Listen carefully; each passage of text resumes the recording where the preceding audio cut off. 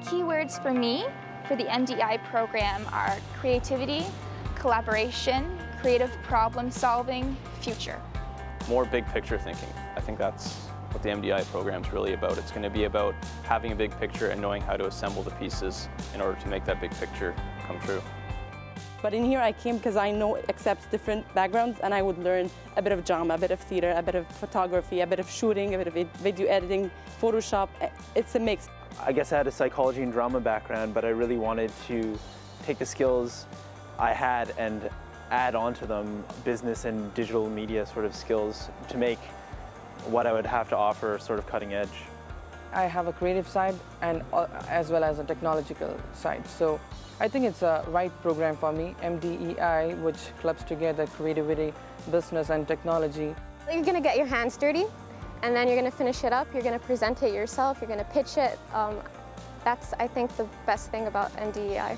What MDEI really stresses is that we're here creating projects, not for ourselves, but for a public audience in a, in a very real format that ultimately kicks back to us the enjoyment of somebody coming along and saying, gee, that's really cool the way you did that.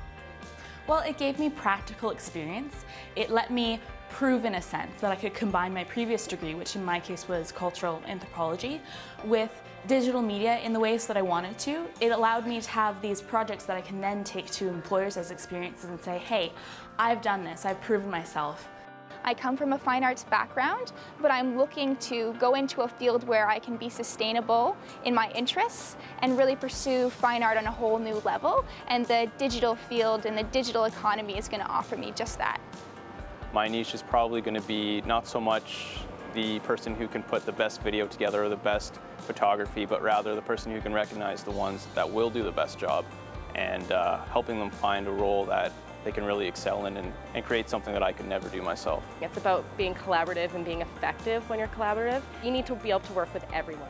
At the end of the day, it's, it's a group effort, so you can't win on, on your own. You need a team of people equally driven and equally as talented as you are to push something incredible forward. When you put together these creative minds from these different disciplines that don't usually come together, that's when you get um, that's when you get the, the, innovation. That's when you get that spark happening.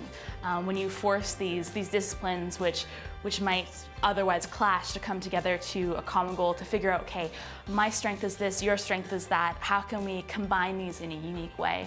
And that's when, when something special and innovative does happen.